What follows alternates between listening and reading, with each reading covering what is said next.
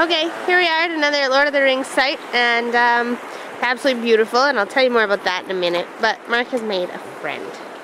And this friend of his is very, very cute, and has a very big stick.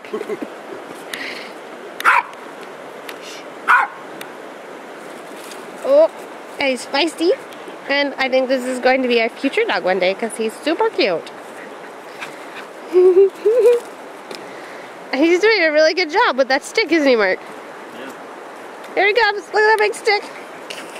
Really cute. Thanks, puppy, for your entertaining. following Mark around. Anyways, in the Lord of the Rings, this was a river crossing. Um, when Frodo got on to, oh, how do I say her name again? Uh, no the elf lady and Niz, I can't remember how to say her name, onto her horse while they were being chased by the bad guys.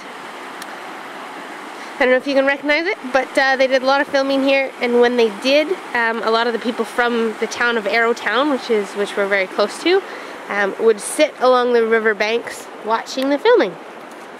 It's pretty cool.